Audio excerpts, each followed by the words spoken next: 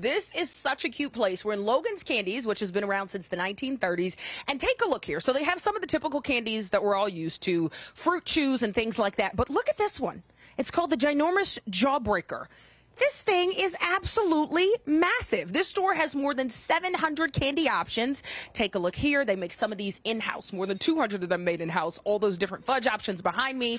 Jerry Rowley is the owner, and he's been working here, guys, since he was 12 years old. So I think he's the expert when it comes to candy making. Let me squeeze over here by him and see what he's working on this morning. What you working on, Jerry? Well, we're making some of our candy canes. This is going to be our candy cane pillows here. We're making green apple flavor, so I'm adding a little bit of color to it. This is going to be the white part of the candy cane, and then in about uh, 20 minutes or so, they're going to turn on those little pillows that we have right over there. So just adding a little bit of color, going to add a little bit of flavor here in just a minute, and then we'll put it on the hook and start pulling it all out. So. This must be so much fun for you. Is it like working in Willy Wonka's chocolate factory? Oh, it's the best. It's a lot of fun. I mean, people, everybody who doesn't love candy, right? So, Right. and people love to come in. We get people watching, uh, uh, you know, of course, tasting the candy and things like that. But when you try warm one of these pillows or candy canes, nothing better than that. It's delicious. This is amazing. I was just telling folks that you've been working here since you were 12, so I'm sure you have a great knowledge of Ontario and what it's like to be here, work here, live here. Tell us about the town. What makes it great? Sure, sure. We've been in downtown since 1933. Ontario's been great to us here. We're working on second and third generation families come in and watch us.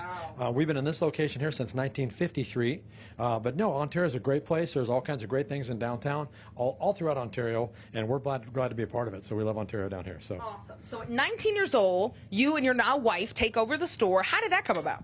Yeah, so in uh, so I started working here when I was 12 in 1974. We took over in 1982. Uh, I'd been working here. I was in school at the time. I was at Chaffey College taking some business courses. I used this uh, candy store to write some of my papers, and I started thinking, I think I may be able to put this together and make this work for us. So we took it over in 1982, and we've run it ever since. So. What's cool is that you're this business with all this history, but you were just telling me you guys have almost 8 million followers on TikTok now. Watching you make this candy, what does it feel like to still be relevant today? Oh, it's it's amazing. It's something my daughter did. She put us on. She's been in charge of our social media for years. She said, "Dad, one day let's let's try TikTok." We tried a video out, and our second video hit 25 million views in less than 72 hours, and it was just off from there. So it's been amazing. Wow. What are some of your favorites in the store? Oh, I mean the chocolates, you know, the chocolates, the fudges, the peanut brittle. Uh, my favorite thing to make is definitely candy canes because it's so visual. People get to watch it and sample it, and they actually get to shape one and bend one. That's amazing. But I mean, it's all fun making fudges, peanut brittle. It's just making candy. What could be better than that, right? So. Awesome. And so the pillow candy that you're talking about is just a version of peppermints. Uh, yeah, we actually do uh, about uh, 14 different flavors. So we do candy canes in the shape of a candy cane that are peppermint flavor, but we do uh, the pillows in green apple, strawberry cheesecake, uh, pink lemonade, uh, um, just a, a rash of different flavors and colors for different holidays and things like that. So in fact, we try to do something for every holiday. We do red, white, and blue with Memorial Day coming up. We'll do some red, white, and blue, 4th of July as well. Uh, we do shapes, bunny shapes, uh, Valentine eggs, uh, eggs for Easter and things like that. So we try to cover all the holidays with our candy. So. Everything. All right. Now I know you put out some different candies down here for me, so why don't you take me down there? You can Sure. Take a break. I will. I'll stop this for a second here. All right. And Uh, while come on down this- walking over there, I'll- how do you eat this ginormous jawbreaker? Uh, that one right, that is a big jawbreaker there, but that's going to be one lick at a time. Yes, that's a t- tough one to eat. But kids will come in and buy these things, and they will just start licking, and I'm sure it must take them days and I days. So. say, that's when the parents want some free time, right? You give them this for a couple of hours. Okay, so what did you lay out here for me? Some of our chocolates and things like that. This is the vanilla fudge here with walnuts we make. This was one of my favorites. Yeah, you got to give tell that a try. What else is there where I eat this? I've got our candy canes right here that we do at Christmas time. This is a cherry flavor. This is peppermint. I've got some of the turtles. I've got some toffee.